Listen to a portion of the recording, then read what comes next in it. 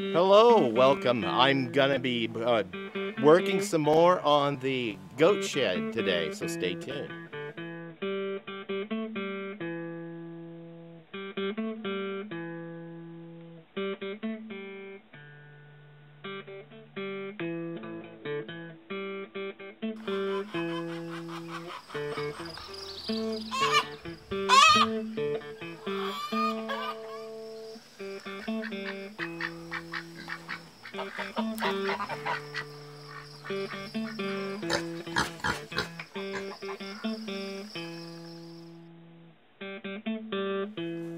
Welcome back to Pine Meadows Hobby Farm. I'm your host, Jerry Hansen. Uh, it's early in the morning. I'm going to go ahead and get started while it's cool, and we got a lot of things to do on this project. So let's get busy.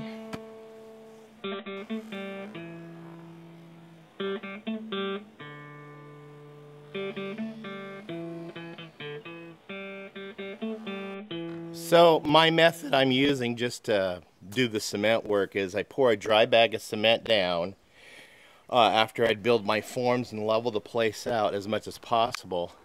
Because it's important to get as uh, leveled as much as possible because the, more pre-work you do, the less cement you're going to have to use. So I just pour my dry cement in and just spray it down really good with water. Come back about half hour later, spray it down some more. Do another half hour, spray it down some more. That way it gets set in. So the cement is dry. I set it up for 24 hours, and it's got that rough finish.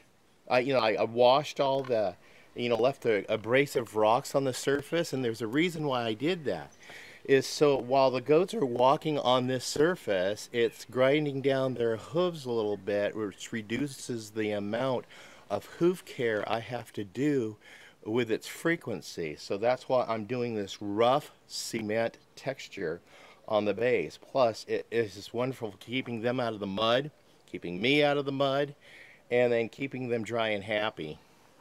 Okay, at this point, before I, I continue the cement work, because I've got to build a step up because of the slope of the hillside, I need to attach the fences, but to that, I'm going to take the gates off, put the fences on uh, uh, this area, because the cement is going to encapsulate part of the fencing in the uh, cement. That's just the way the design fell. So let's get that done.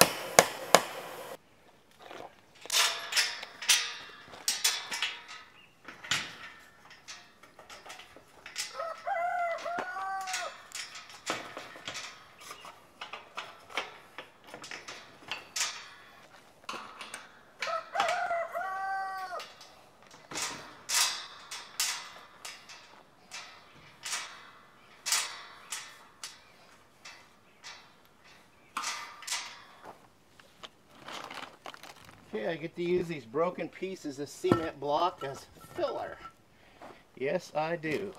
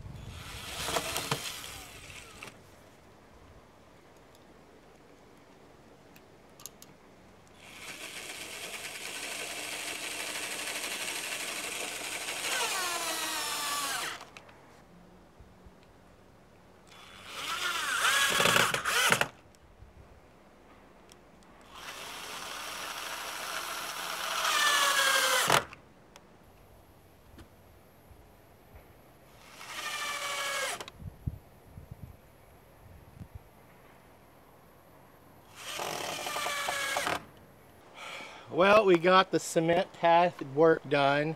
I've got the fences attached or the uh, stock panels attached for the paddocks. I just have to put in uh, some corner posts. I got those today. I'll be cutting those and then putting the holes in the grounds and cementing those in tomorrow. I'm tired. I'm going to conclude this episode and we're going to continue the final part of the build for the goat shed uh, in constructing the roof is the last structure I need to add to this. I just need to put in the dividers to divide the two paddocks and then to divide the uh, shed to keep, give the two goats their separate sleeping areas. well, I got a little bit of an audience. I've got a doe with twin um, fawns over here. I got another doe over here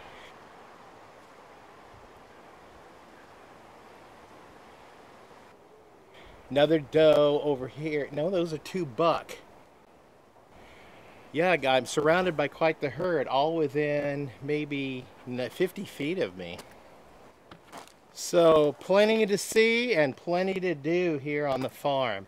I'm your host, Jerry Hanson. This is Pine Meadows Hobby Farm. I want to thank you guys for showing up and uh, watching me do what I do here on the farm. Please stay tuned to more videos. You could do that by uh, liking the channel, uh, giving me a thumbs up. Also, leave a comment down below. And uh, click that share button. Sharing my videos on your social media platforms really helps out the channel a lot. Something else you could do is subscribe, then click that bell icon. That'll alert you to new videos as I upload them. Hey, we'll see you guys in the next episode. Yeah, mm-hmm. got a busy day tomorrow. We'll see ya. Bye.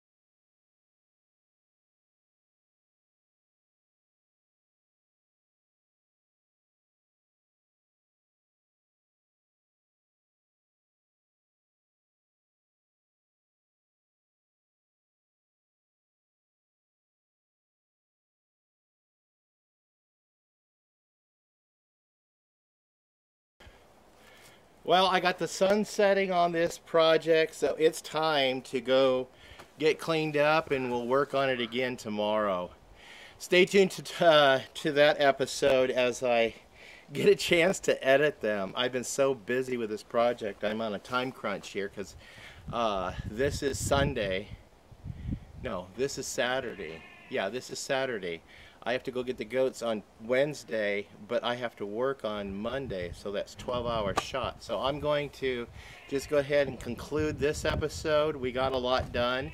Stay tuned to more episodes. You could do that by subscribing, clicking that bell icon, and also uh, share, click that share button. Sharing our videos on your social media platforms helps us out. Another thing you can do is give us a thumbs up, like the channel. That helps out, and also. Uh, leave a comment.